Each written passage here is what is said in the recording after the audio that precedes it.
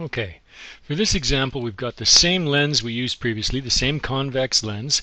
Its focal length is 2 centimeters, so because it, once again it's double-sided, so we've got a focal point on either side of the lens at the 2 centimeter mark. We're using the same scaling. Every four squares represents 1 centimeter on my graph paper. Now this time our object is placed inside the focal point. So between our focal point and the lens is where the object goes.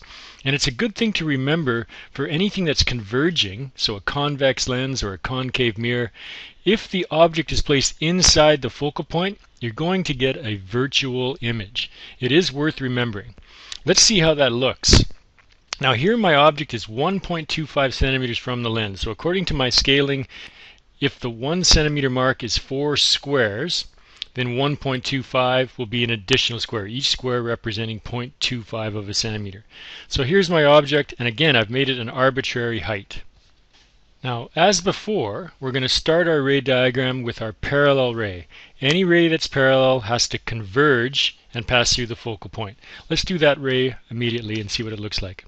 Okay, so there's our first ray. A parallel ray strikes the center of our lens and converges through the focal point as shown. So there's our refracted ray on the right. Now the second ray, just like before, we're going to draw it so it goes straight through the center of the lens undeflected. So here's our second ray straight through the center of the lens undeflected. Now it's up to the two refracted rays, the ones on the right, to cross or converge to locate our image. And clearly, because we're inside this focal point, these two rays will never converge. They're diverging rays. So to us, if we're standing on this side of the lens and looking through the lens, we're going to interpret this as converging behind the lens. We're going to get a virtual image. Our eye is going to follow these rays straight back and construct its own image. So let's dot these lines back and see where the refracted rays actually appear to cross. So I've traced my refracted rays back. So I've lined up a ruler right along my refracted ray and dotted a line backwards. We use dotted lines because remember this is not the actual ray. The actual ray is the one that passes through the lens. This is only where the ray appears to originate from. And both of these rays, if we dot them back, appear to originate from a point where my hand is. So to us, if we're looking through the lens from the right, we're going to see an image that is upright and much larger than the object. This is how a magnifying glass works.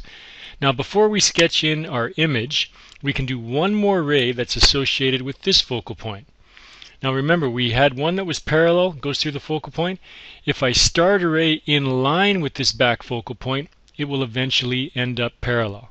And we'll cross your fingers and see if we can get all these rays to merge at that one spot. Let's try it now. So my third and final ray, I line up my ruler with this back focal point, the one on the left, and I start a ray in line with that focal point coming off the tip of the arrow. So it goes basically up at an angle, hits the center of the lens or that imaginary line that we've called the center of the lens, and then ends up going parallel. Now again, this ray on the right, this top parallel ray, and the bottom two refracted rays all must converge. So if we dot this ray back, we should hope to find that it converges where the other two do. Let's do that now. Now because I've used graph paper we can see that my final ray does in fact appear to be coming from a point where the other two rays meet. So let's sketch that image in now. So we see our upright virtual image and that's why it's dotted. Anything virtual must be dotted. It's located just beyond 3.25 and before 3.5 so a good estimate would be about 3.3 and because it's virtual we say that the image distance is negative 3.3. So to summarize, our image is located at negative 3.3 centimeters. It's upright, it's magnified, it's larger than the object, and it's virtual.